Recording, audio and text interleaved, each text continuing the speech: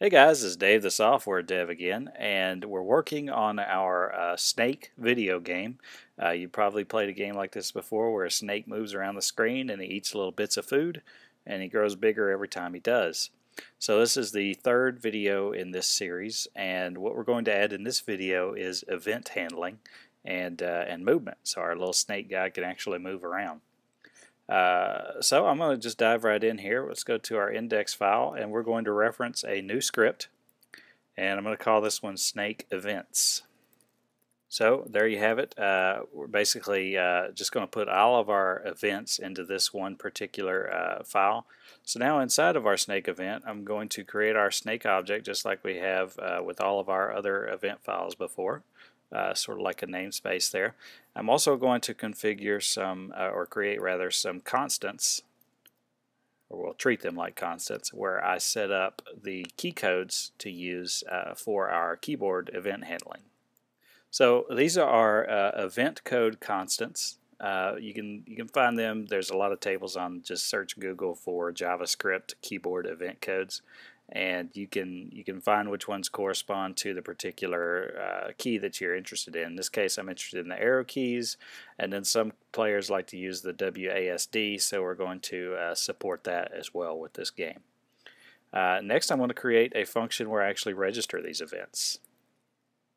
So here I've created a function register events, and we're adding an event listener to the actual window. That way they don't have to click on the canvas first or anything like that. We're going to handle the key down event and we're going to use our uh, our snake.keyDown function here. So I've only really got uh, just an alert in there to say, hey, there was an event, just so we can uh, verify that all this is uh, is working properly. So now we have to actually call that register events function. I'm going to put that in my uh, snake.init, which lives in snake.js. After we've created the grid and our first little food item, we're just going to call register events. So here's where we left off. We have our tile engine loaded. We have our snake uh, guy starting in the center of the screen. We have a piece of food for him to chase.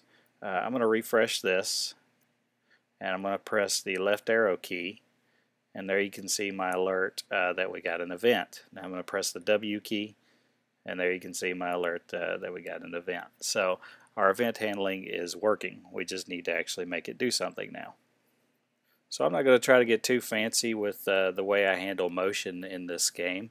All I'm going to do is create two variables in my snake.js, uh, a move x and a move y. So if our if our snake is moving um, to the right, for instance, then we'd want him to move one position to the right, one position to the right, one position to the right as he's moving, of course, and no positions up or down. So in this case, move x would be 1. He would move one position over, and move y would be 0. Uh, if I wanted him to move uh, up, then move y would be negative 1 because he's moving a minus 1y from his current position, and his x would be 0. Move x would be 0.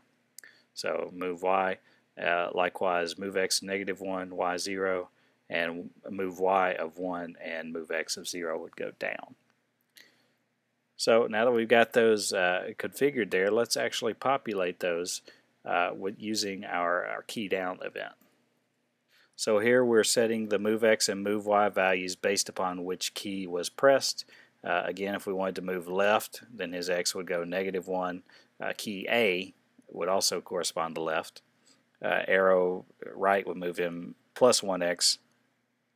Up would move him minus 1y, and down would move him 1y. So those are the, the directions that our snake is capable of moving in. So uh, let's write some code to actually make him do that. The first thing I'm going to do is I'm going to um, go into my index.html file and this window.game loop is now called every frame. Uh, that would be a little bit too fast to have our, our guy move. Um, one thing we have done for, for this for this game is it, it doesn't really rely on frame rate too much, even though we've got some optimizations in there. You know, for a good frame rate, that's just something I would do in any game. Uh, but this one, uh, we're actually going to slow that down a little bit, and we're only going to call that uh, that game loop uh, every 250 milliseconds. The next thing I'm going to do is I'm going to call a move function inside of my game loop and that's going to move our snake uh, based upon his move x and move y values that are being controlled by our events. I'm going to put that in snake.js and it's just going to be a function. So here's our move function and it's super easy. Uh, the first thing we're going to do is wherever our snake currently is, uh, we're going to tell that tile that it needs to redraw itself on the next frame. And that's because our little snake guy is about to move off of that tile. And uh, if we don't redraw that tile, then it'll look like the snake continues uh, to stay in that tile when he's not really there. So we need to redraw that tile that he's currently on. Uh, second, we're going to move him by adding the move X and move Y to his current position. And then we're going to uh, tell the snake itself that it needs to redraw because we've moved it. So uh, this set position redraw function does not exist yet. Let's go into our snake grid and we're going to add that little helper function here.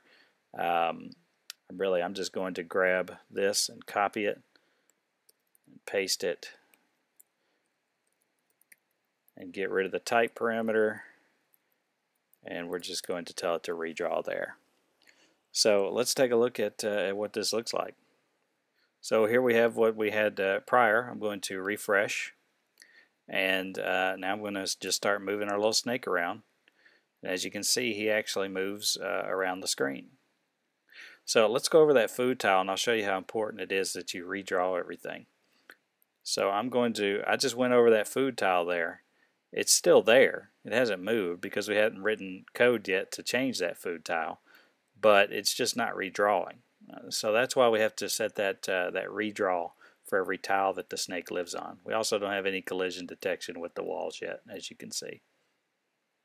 But that's, uh, that's about it for this video. Uh, if you liked it, please like it and uh, share it, and uh, also subscribe. Uh, in video number three, we're going to to have our snake actually actually eat the food and grow a bit larger, and we'll actually really have a, a, a mostly complete game.